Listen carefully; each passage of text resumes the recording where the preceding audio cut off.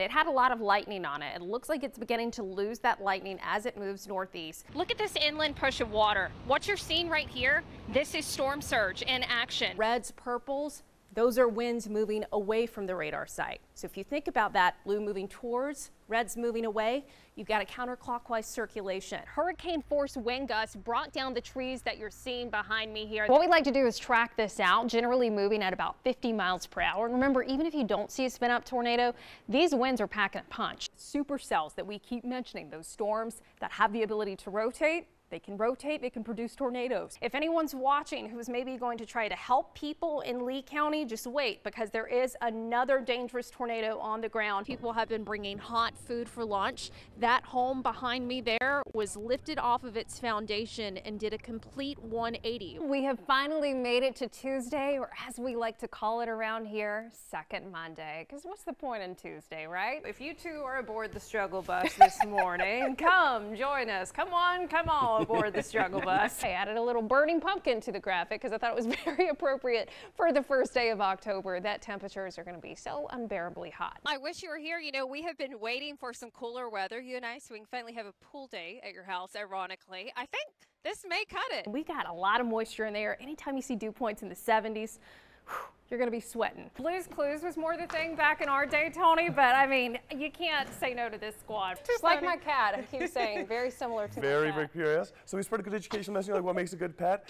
Hey, Cheryl, good morning. Yeah, not going to hurt to put on a light jacket, or this is kind of more so cardigan weather. I think that would make Taylor Swift happy. So this morning we've got temperatures in the 60s, which, yeah, it's a little warmer than it's been over the past few days, but still feels pretty good, but 5 to 10 degrees warmer than we were this time yesterday morning. Now this afternoon we're also going to be a few degrees warmer with high temperatures getting into the mid upper 70s. There's just a 10% chance of a stray shower and that warmth that we're beginning to feel a little bit today is just going to keep on building over the next couple days. That's kind of thanks to beta getting a little closer to us. The remnants of beta are going to up our humidity. I know I hate to say it, but it's the truth. So it's not going to feel quite as crisp as we go into tomorrow. Today, though, not too shabby, but those dew points on the rise, when you see dew points getting into the 70s, even upper 60s, you're like, yeah, we're getting a little too high up on the muggy meter again. It won't feel totally summer-like though, so we're good. Now this morning we've seen plenty of clouds. We've got that moisture in the upper levels that has been coming from beta, but it's not quite here at the surface yet. We're still feeling pretty dry, pretty fall-like,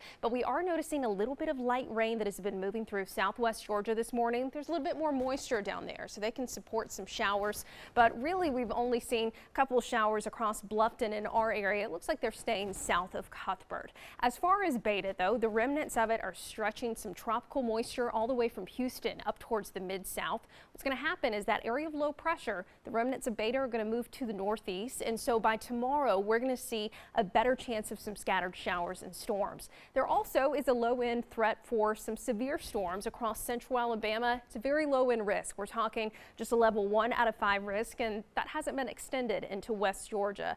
The idea is kind of like you see with tropical systems, not out of the question to see some gusty winds or a brief spin up tornado. I really will have to kind of look at this and see how our risk is going to look for tomorrow. But for now, just know there is that low end risk. We'll keep you posted. In the meantime, today staying dry as we get into the afternoon. Still, we're talking just a stray shower going into the overnight hours. Still a low end rain chance. But notice how that rain coverage begins to expand from the west tomorrow. And there is that chance for a few strong thunderstorms. So the rain coverage looks pretty decent on Thursday and Friday.